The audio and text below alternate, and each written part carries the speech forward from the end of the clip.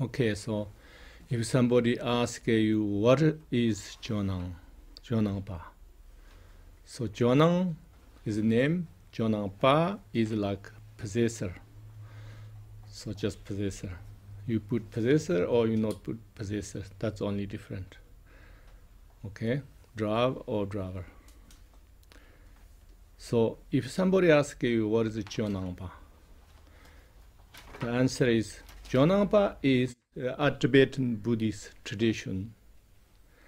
Had name, made name Jonang in 13th century. They made Jonang uh, because they made uh, with location. The locate called Jomo Nangpa is very sacred uh, place called Jomo Nang. Uh, so there's a female deity uh, called Nagjarmo. So near that valley, uh, called Jomona. So uh, in 13th century, uh, Genpang Tukje Tsondru renounced uh, great Kalachara master called uh, Genpang Tukje Tsondru. He made the permanent resident of Jonang there. So since then, kor jo nang jo nang pa wo jo but the Jonang Ba the lineage is much longer than the Jonang Ba name. So the lineage go back to uh, Buddha Shakyamuni. But there's two lineages. Jonang Ba hold a very special two lineages.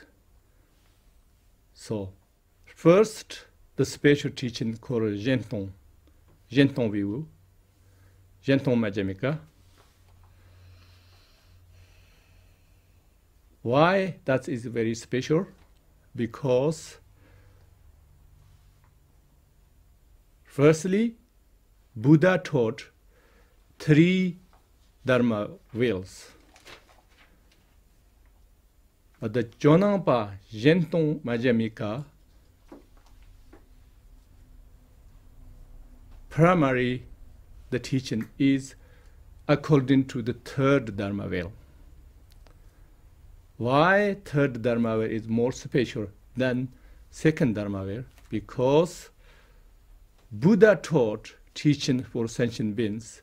First, teach fundamentals, and then, uh, then sentient beings, you know, uh, we call the fortunate beings, uh, developed, they developed, then he teach more, more profound.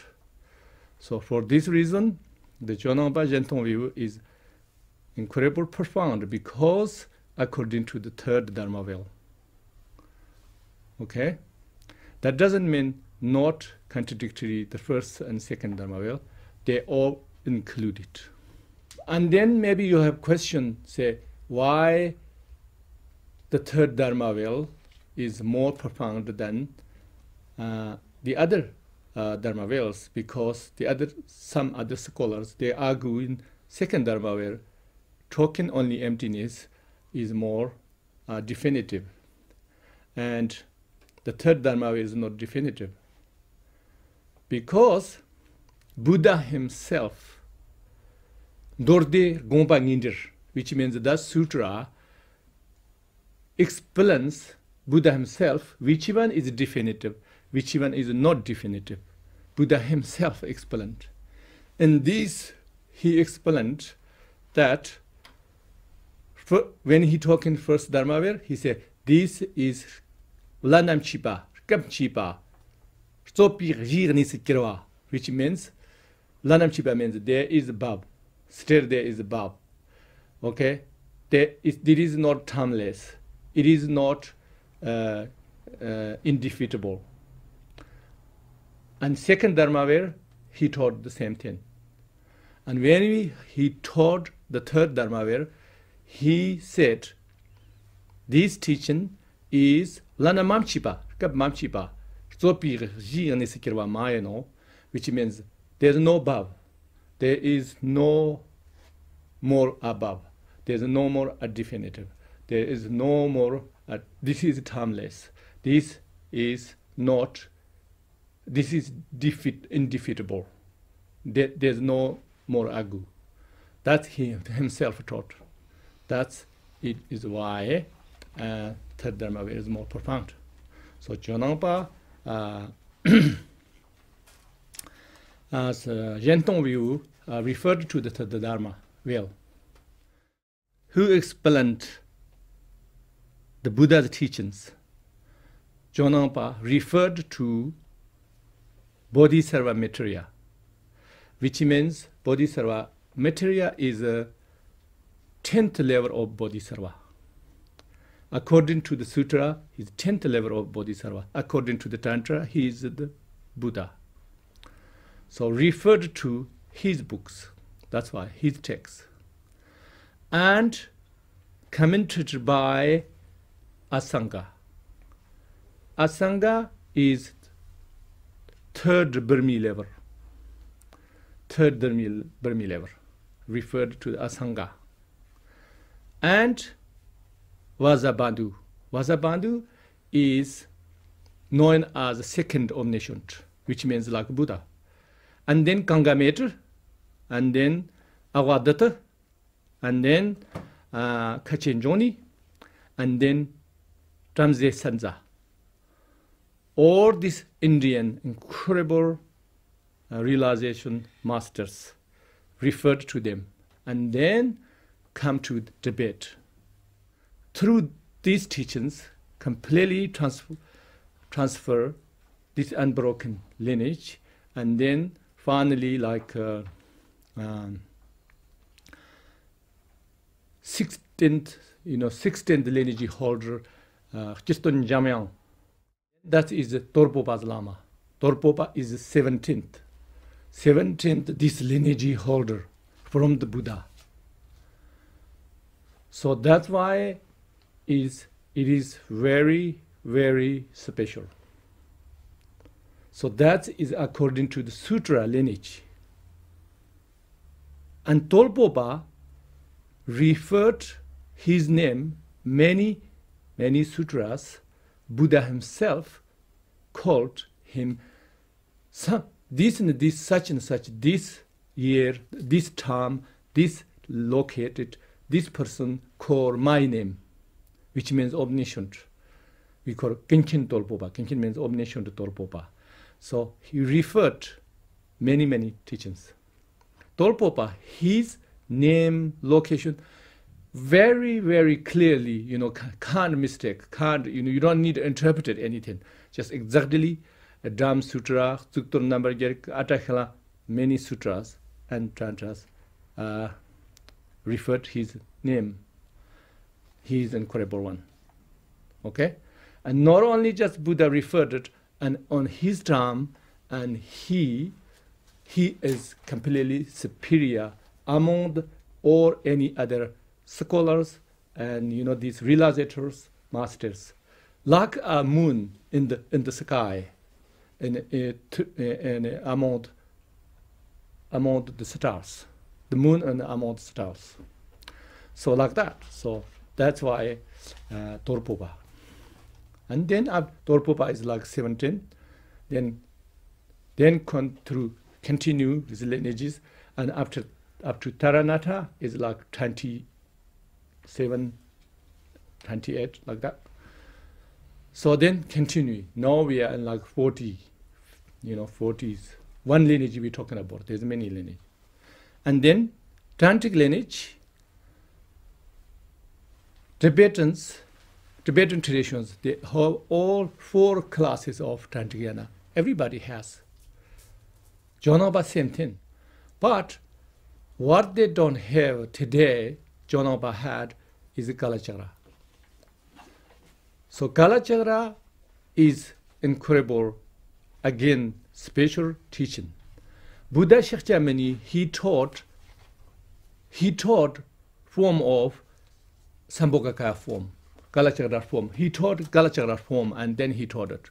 Not he taught, he as a monk, simple robes, and he didn't taught that way. He taught, taught that uh, South India, Korwarko.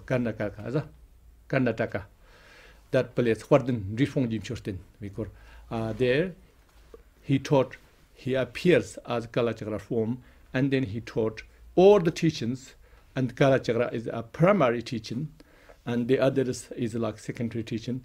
He taught at the same time.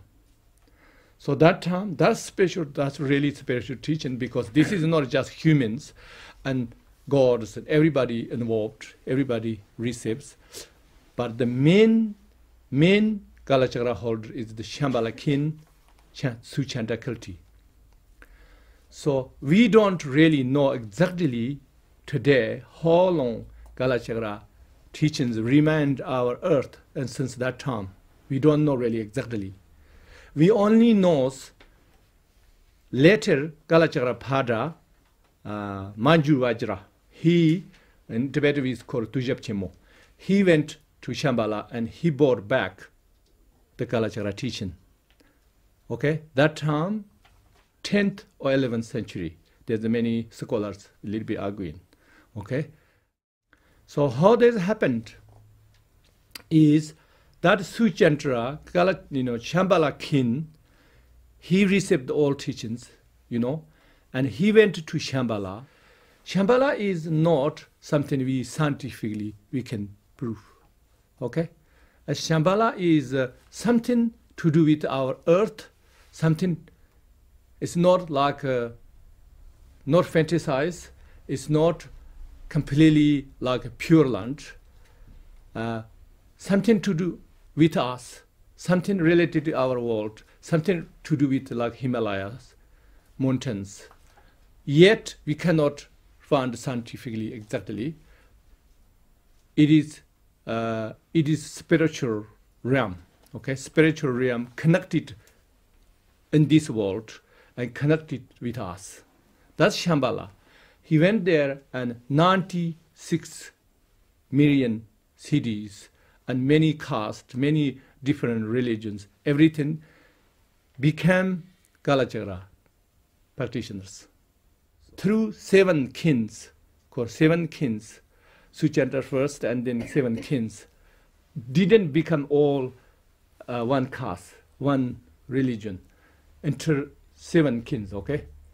Uh, after that first uh, Manju, uh, Kirti, he convert all teachings, Kalachakra practitioner, all spiritual, everybody become.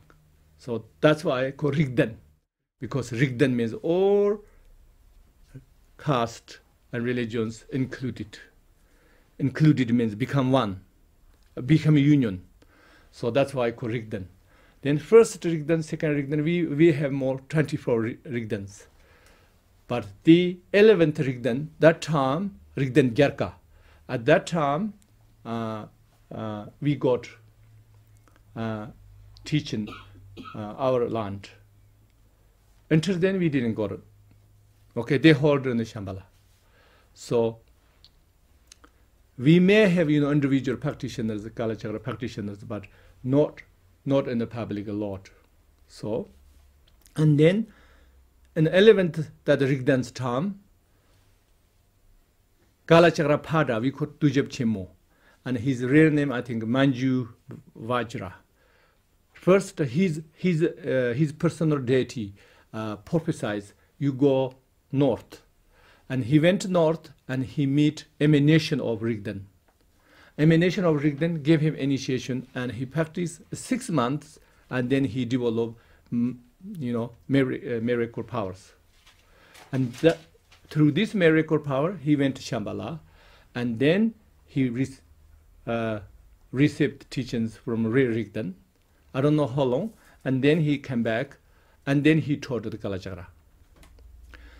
So that time in India, incredible Buddhism you know, incredible flourished that time, especially Tantrayana. But Kalachakra, another special form of Tantrayana. So he taught that, and his 12 disciples become a rainbow body. Okay? And then one of his uh, that uh, disciple called Tujab Chonwa, and they call Shirbata. Shirbata and uh, we call second Tujab, okay? He, he's uh, the best, uh, he's the disciple, transform, um, is, uh, in, in Ngondo we say Jatin Nalin Tagbala Surandib, Tarwan, okay? Uh. Bodhbata, and why we say Nalin Tagbala Surandib? Because he become Nalindra, Nalindra leader, okay? Nalindra universe. That means incredibly just not just scholar, but you know, incredible, exceptional. That's why. So that time they said, through the Kalachakra Tantra, transformed people more than any or other Tantrayanas, uh, practitioners to transform, uh, we call Trapatup, become Mahasiddha. Okay? So uh, that kind of uh, is powerful Kalachakra that time. And so, and his uh, uh, the disciple Panchindra Dawangombo, he came to Tibet three times. and the rest most of his life i think he spent in tibet. So he taught uh uh tibetan uh, that's tibetan person called uh, uh, tsawa uh, namla lama harji gomba lama tipchin yimo those things he taught. So this taught translate everything is very special. There's some some other kalachakra you know like lineages going on. But this one very special because Panchin Dawangombo, he spent most of time in his his life in Tibet. He speak in fluent in Tibetan and Indian. That's why translation is very special. He's a very special person. Actually, he born is like a, uh, uh, Muslim family. Father is Muslim, mother is Buddhist, and then first he have to become Muslim, and he's uh, Islam. He follow Islam. He teach, studies everything, and then he not good, not satisfied. Then he seek Buddhism. You know that's why he went. That's why he developed incredibly. So the Panchin Dawangombo is between Tibet and India. That's why he came, Kalachakra. That's that's tradition we call draw Ndroluk. Kalachakra have two major uh, translations koraluk and droluk this one is droluk. So droluk dipi ka tan raluk shapi ka va they say. Shapi ka means ra, ra tradition is good to intellectual. And this draw is good to practice and transform. So but this Jonapa tradition is really, really incredible because not only just these two traditions, but 17 different traditions converted uh, together. Okay? Uh, in Kampang Tukje Zondu, that 13th century.